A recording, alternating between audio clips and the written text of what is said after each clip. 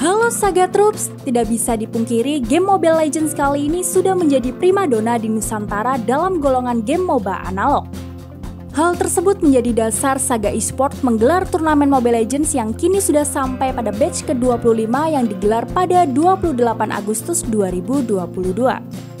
Kabupaten Kerinci yang berada di Provinsi Jambi menjadi saksi 16 tim tangguh berjuang memperebutkan total hadiah senilai 6 juta rupiah seluruh peserta mengerahkan seluruh kemampuan terbaiknya untuk menjadi juara. Setelah perjalanan yang sangat panjang, akhirnya cerita Mobile Legends di Kabupaten Kerinci telah usai. Terima kasih untuk sahabat Ganjar telah mengadakan turnamen MLBB di Kota Sungai Penuh Kerinci.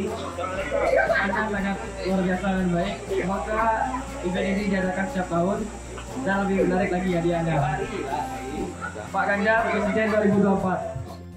Jangan lupa nyalakan loncengnya dan subscribe channel Sahabat Ganjar agar teman-teman semua tidak ketinggalan berita terbaru dari Pak Ganjar maupun dari Sahabat Ganjar. Terima kasih.